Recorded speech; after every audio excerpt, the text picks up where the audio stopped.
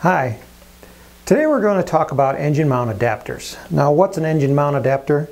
Well, so you have a, a fairly good sized rocket and it has a big engine mount in it for say like an SSD engine.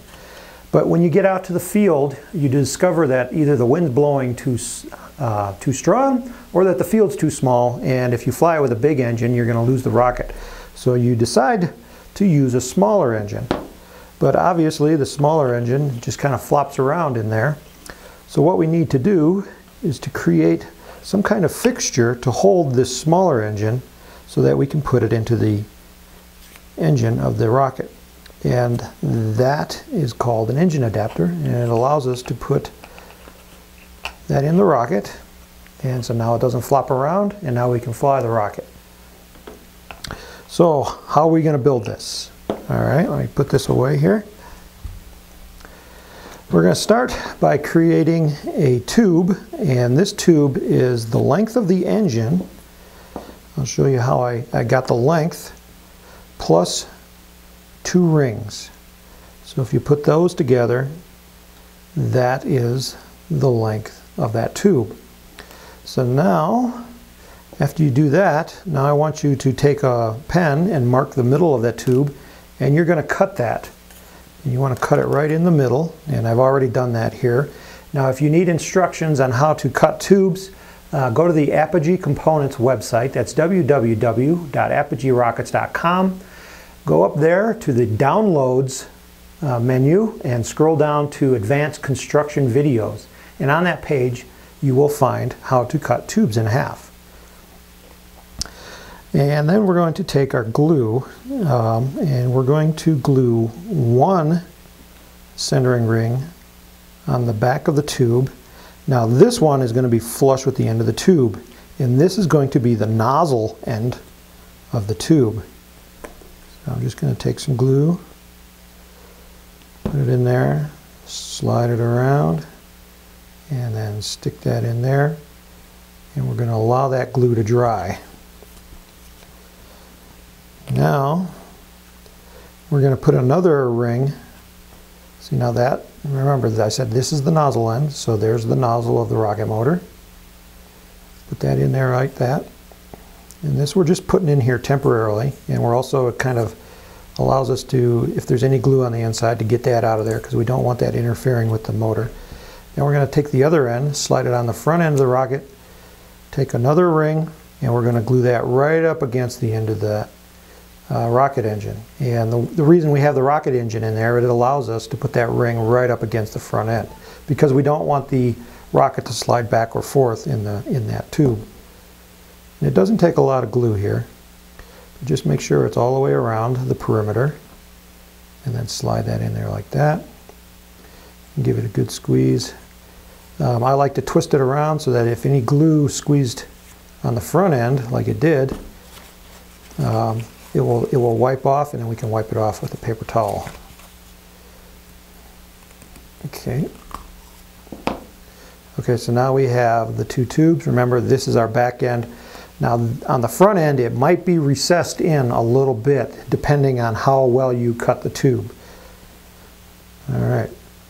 Now we're going to take some three other rings and we're going to glue one at the front end all the way so that it butts up to the front end of the tube.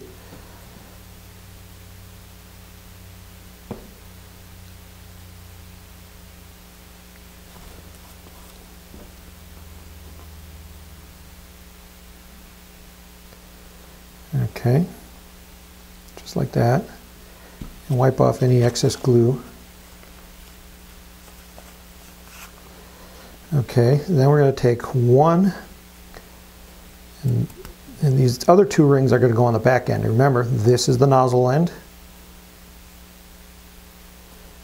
And um, now you could put this front ring pretty much anywhere in there. Um, what we want it to do though, let me show you this. So when we got them together, where are you going to put that ring? Well, Okay, if we take that out, I'm taking the back ring off. We got our nozzle end. When you slide that in there, we want that middle ring to be somewhere inside that tube, like that. Okay, So it can be pretty much anywhere as long as it goes inside that tube because that ring is going to keep that tube centered in there. Now, uh, now, so I'm going to go ahead and glue that up. I'm going to put it right there.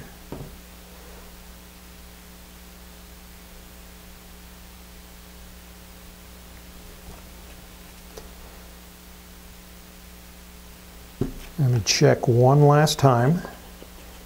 Okay, so it's inside. That's good.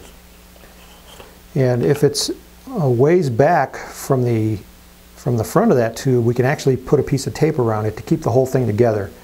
Now, you don't have to have the tape there, but it helps to pull it out of the rocket once the flight is over. Now, where's this back ring go? So when we put that back in the rocket, that back ring has to be positioned so that the engine hook, when we slide it all the way in, that engine hook just clips over the back end. Now I don't have a pen here, but it looks to be about a half of an inch, and I'm just going to glue it in place.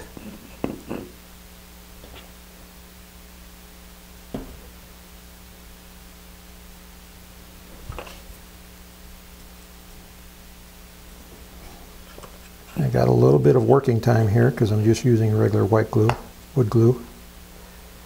Okay, looks like I did have it in the right spot. All right, there we go. Now, let me show you one other little trick here before we finish up. Now, as you notice, if you look carefully inside the uh, inside the tube, that the nozzle is pretty deep inside. Now that's going to make it hard to put the igniter in the rocket. Um, so what you can do, you could use a thinner centering ring at the back end. And what that does is it pushes the nozzle closer to the end. And then this side will be recessed further in. But it's pretty hard to make a, a ring like this. So what you can do is just do it like we did and then take a piece of sandpaper and sand it down until that ring on the inside is probably about an eighth of an inch thick. You want some thickness so that when the ejection charge goes off, it doesn't kick the engine out, but not so thick that it's hard to get the igniter in. So there you go. Uh, that is the basic technique. And you can build these pretty much any size. This is a mini engine, a 13 millimeter to an 18 millimeter adapter. And that will go into a rocket like this. I got it backwards, don't I? There we go. You gotta you gotta remember which is going to be your back end. Um, so I like to uh, I like to mark them um, nozzle end and front end, like I did on this one here. See this one here I have nozzle end. So when you put them together, I know that the nozzle is going to be going down. But you'll figure it out pretty quick once you put your engine mount adapter together.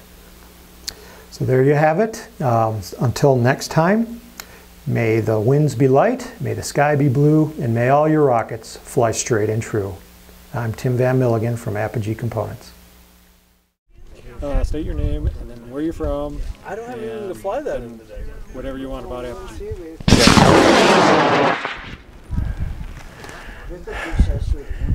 My name's Ernie Puckett and I live in uh, Woodland Park, Colorado. And Apogee is about 20 miles from my house and they are very well equipped for buying up parts to build rockets. Uh, what I really like about Apogee is RockSim. So I can design and build my own rockets. And I flew three of those today, all of them successful.